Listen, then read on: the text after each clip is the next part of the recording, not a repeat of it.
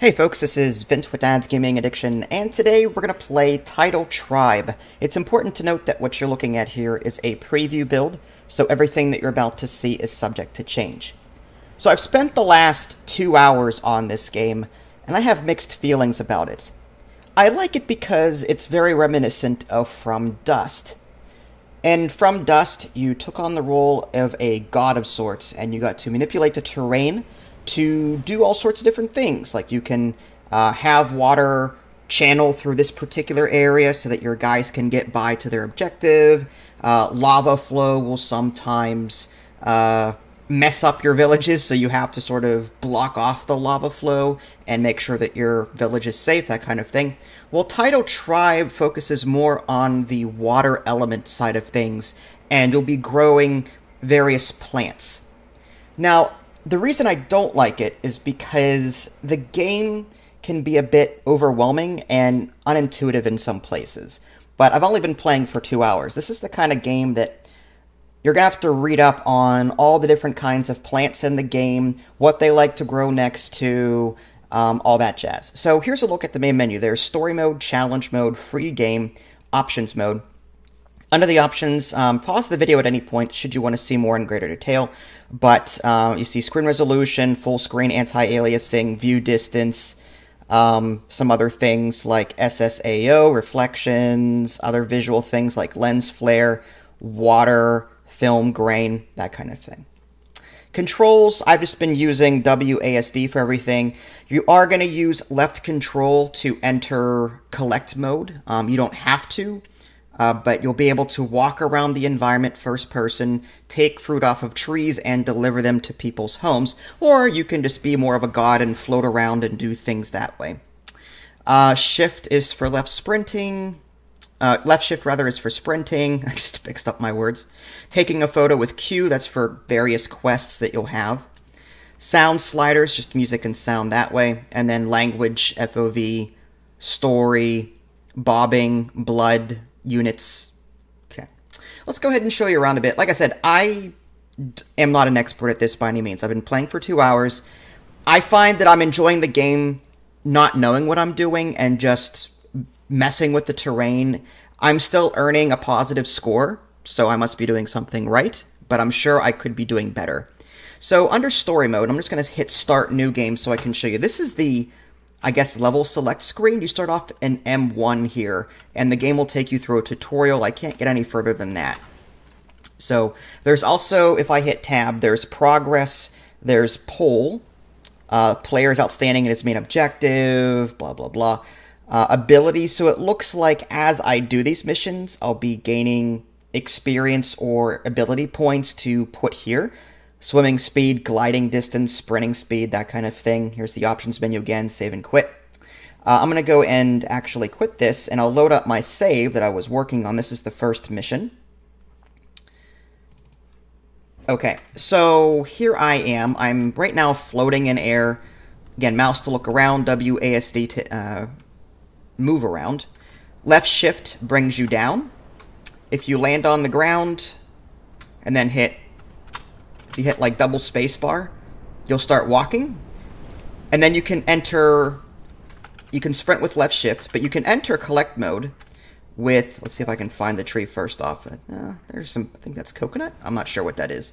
So if I hit left control, I'll enter collection mode, and then I can hit left shift to interact with the tree. If you look in the upper right hand corner, okay. If you look in the upper right-hand corner, there's some numbers there. It says like 0 out of 8, 2 out of 8. So I'm collecting fruits. Now here's the thing. If I re-enter God mode by hitting left control again, I lose everything that I'm carrying. So the idea here is deliver them to these houses. Um, I haven't fully figured out yet how these houses grow. Um, I'm, I'm imagining it's just over time. So if I want to deliver, I think it's spacebar. There we go. So I just delivered some fruit to this house here. Yeah. These people with the triangle heads. Alright, so let's go ahead and get out of this mode. There's some penguins. Alright, so let's let's double spacebar to start flying. As you can see, um, there's a lot going on here. And if I hit tab, this is where my my brain starts turning to mush. So here's the main screen. You can see your score. I need 500 points in order to complete the mission. Now, this has been going up with me not really knowing what I'm doing. I've just been trying to create lakes, trying to get grass to grow, and that's that's the general premise of this game. Create create grass and create trees and create fruit and food. There's some other stuff that happens that the villagers do that I don't fully know what goes on yet, but I'll get to that. So there's individual needs like pleasure, hygiene, fun, thirst, shelter, and wonder.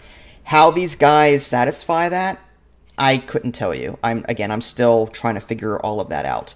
Um, fruit plant numbers. These are all the different plants that are currently on my island. Uh, there's looks like there's a trend plus 12 there, minus one over there, plus 13 there. There's parasites that could happen. I haven't seen parasites yet. And there's some production graphs if you want to take a look at that. This is uh, analytic analytics stream, I think. Map. Now this is one complaint I do have.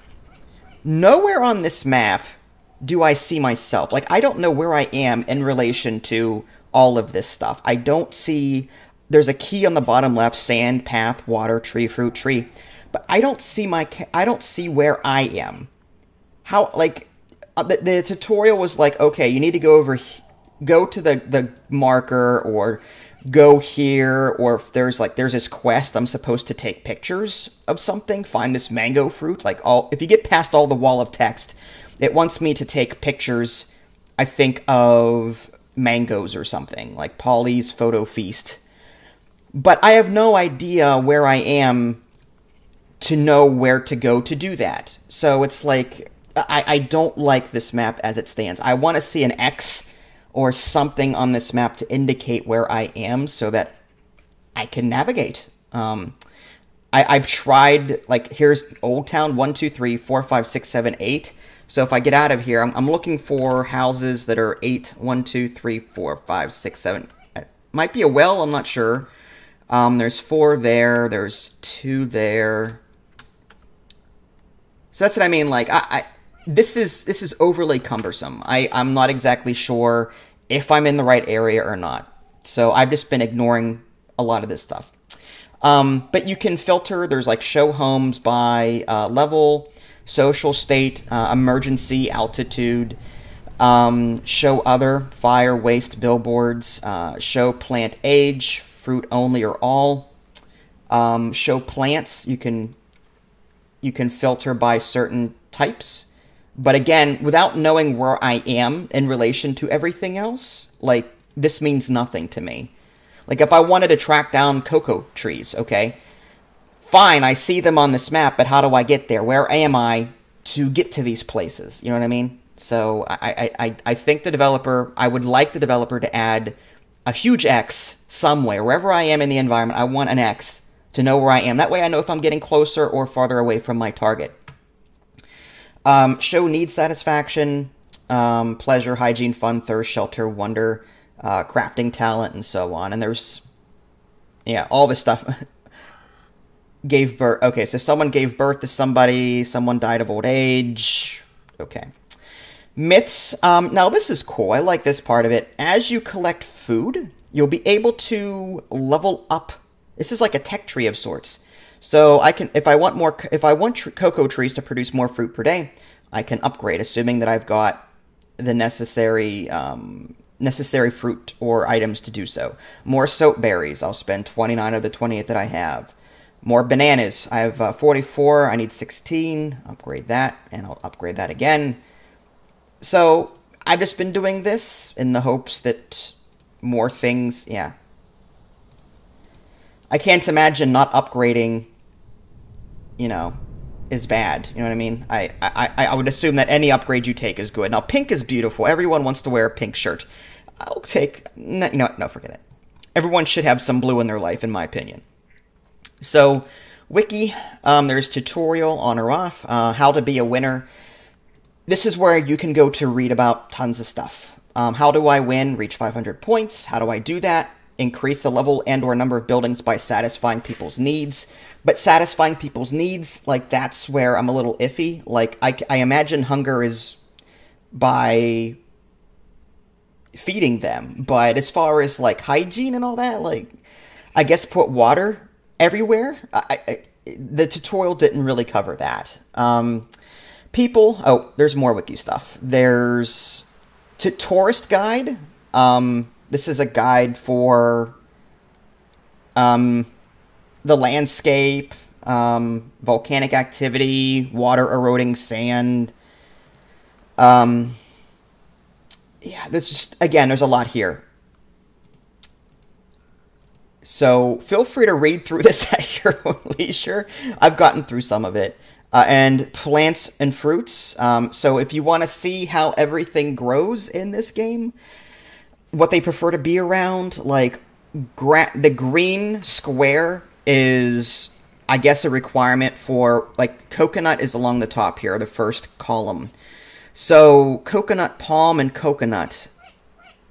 I guess so. Coconut needs grass, flowers, flout fern. I guess these are the things that they would want to be around in order to spawn. Whereas you can see the parasite column, no one wants to be around parasites. Okay, so, and if you want to take a further look at that, here's coconut palm. They prefer sea distance, altitude, sunlight, terrain, water distance. Um, and if I toggle through all these different trees, you can see their preference. But again, I'm I don't care about th- like I just don't have the time to go through all of these and learn them because I have so many things I do and I have a full time job. So I, at the moment, just enjoying myself, just messing around with the land and, and doing that. Society tab, um, again, not, not too familiar with this yet, but you can see um, society stats, class data, uh, wealth distribution. How, how, how I can change that, I have no idea. Uh, quests, uh, I showed you this tab already. There's supposedly a treasure map um, but I don't know exactly. Um, if I, I've marked it on the map, so if you find that place and dig down a bit, you should be able to find the key and unlock the next part of the map. So I have to find this on the map, dig, and find a key. Okay, so there's some side things that you can do. Options, I've already shown you that. Okay, so let's just show you what it's like to manipulate land. Mouse wheel lets you choose between terraformer um, left mouse raises land and right mouse gets rid of land. So if I want to, like, let's say I want to bring the water further in, I'm going to right click, hold in right click, and bring the bring the land down. Uh, whether or not this is a good idea, I couldn't tell you, but and whether or not the water actually stays here. Now, on occasion, the water will just flood in from waves, and there we go. See all that water now? Now here's the thing. Now, let's do this. Let's raise the land. I'll create like a little dam here. Now, in theory, this water should stay here, maybe? I'm not sure. now you see I've created sort of like a lake, and then there's a stream protruding from that. I'm just going to lower this land a bit.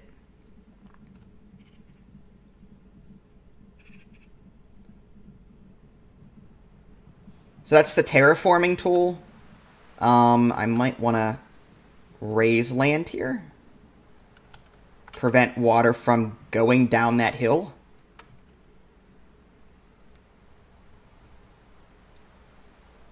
But as you add more lakes and more water, bodies of water, you'll see trees and grass growing. So um, I'm assuming that's what I want to do. That's a good sign. I'm basically just basically cover all of the sand with green, and to do that, try and try and get your lakes and your streams to go where you need them to go. So, yeah, there's that. And then other tools, there's Earth Mover, which the tutorial did not cover. I have no idea what it does. Uh, if I just test it out real quick, left mouse button adds to that space, right mouse button removes it. So, uh, I'm not exactly sure how that's any different than the terraforming tool, honestly. Shovel, same thing. It just seems to be a finer circle. There's chopstick. Again, I'm it's just I'm guessing that's just a finer circle, smaller area kind of thing. Uh, there's a smoothing tool and a small smoothing tool. So if I want to flatten land, um, I would like I would like a tool though. Like the smoother tool just flattens wherever you have the cursor. I'd like to. I want a level terrain tool. Like if I want it, if I if I hover my mouse over terrain like this, and then I choose the level terrain tool, and if I hit left mouse button or something, I'd like any other land that I select to raise up to the level of my origin point. That that's I would like something like that just to make cuz uh, right now I'm just I'm having to use my terraforming tool to get land to be as relatively close as flat as possible then I smooth it out. But having like a, a raise land or, or something like that or level terrain tool would make my life a heck of a lot easier. So, for example, um, let's see if I can find, so, okay, this mountain over here. So let's say I wanted to make this larger. So let's say I, I so if I hit smoothen right now, let's, let's make smoother. Now you'll notice that it's smoothing down here. Like if I if I go down, this bottom part is smoothing out, but I want I want this to be the same height as this.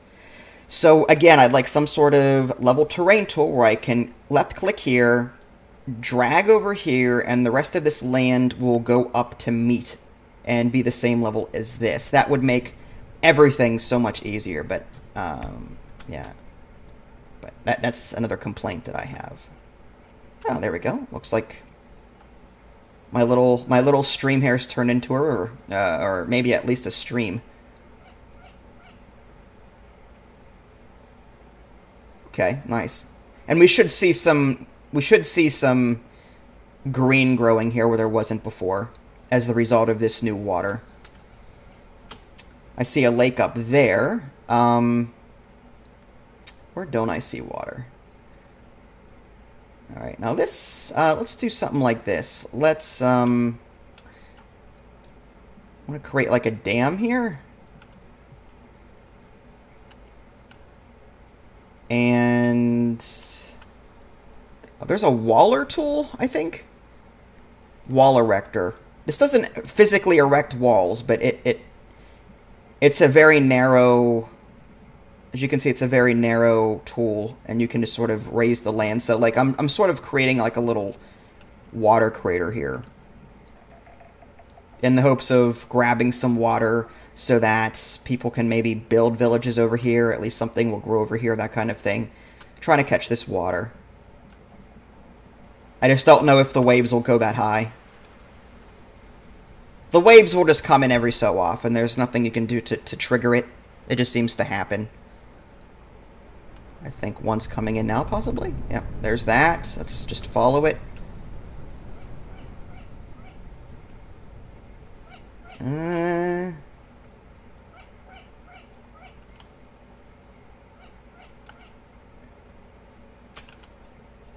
So there's that, right? Okay, so this is this is the this is the wall that I just built.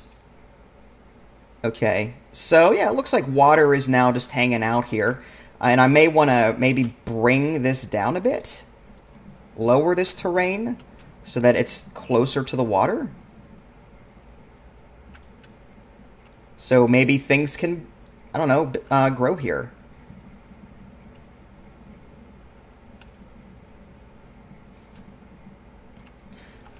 Another complaint I have, moving around in moving around in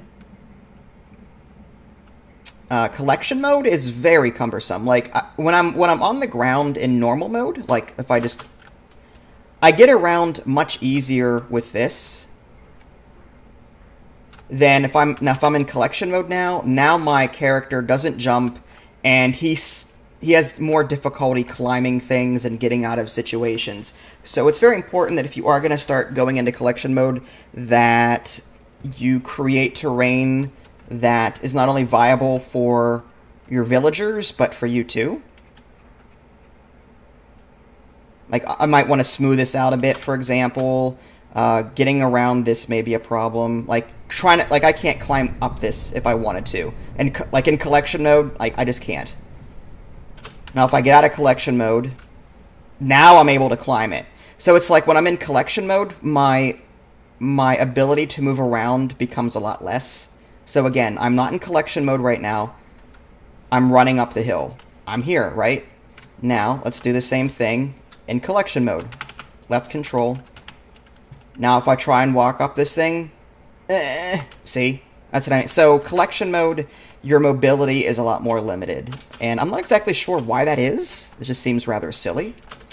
Uh, so let's just fly back up. And yeah, that's the gist of it. Again, there's some more advanced mechanics that I haven't seen yet or gotten to yet. Um, but it's it's a cool idea. I, I like. I, I, think From Dust did the land and the graphics like the, the land manipulation and the graphics better. Um, but I do see the potential in this one. But there is a bit of a learning curve. Like with From Dust, I I managed to get into that fairly easily. This one, with all of the different types of trees, uh, From Dust didn't have this level of detail. Um, From Dust had nothing like this. From Dust was create flat land um, near water, let, let the grass grow, and keep doing that as much as you can. Here, it's there's some more detail. There's okay, well now you've you flattened the land, water is nearby, but is the land high enough? Is it flat enough? Is it in direct sunlight of this? Is it is it next to this other thing within accordance to this chart? So I guess it all depends on how you want to come at this game. You can come at this game like I am. I'm at score 150. I haven't been doing anything. I'm at score 152 right now. 155, it's going up, um, as the result of me just messing around with the land and creating lakes. So it looks like, in theory, casually you can still play this game without knowing what you're doing but I have an idea. I have a feeling that you'll get more enjoyment out of this game once you learn all the little ins and outs of it. But again, I, as I said, I I wish I had time to do that. I just don't. So um, there you go. A uh, quick look at um, this lovely little game. I just I think that, like I said, a couple of quality of life updates would serve the game well. Uh, mainly, where am I in relation to the, the map here? I think that would be that would be nice to have. Um, maybe some other ways to make the game a bit more uh, user friendly, beginner friendly to get into. Um, again, the uh, the tutorial that I did prior to this didn't cover what I need to do to what what are these crafting talents? Why why do I want them to craft these things and how do I get them to craft these things? Do I just have to provide them the tree type and they do the rest? That, that's stuff I haven't gotten to yet. So yeah, um, if you guys haven't already subscribed to me on Twitch and YouTube, that way you can stay up to date with any new content I'm going to publish. This is Vince, thanks for watching, and I'll catch you guys next time.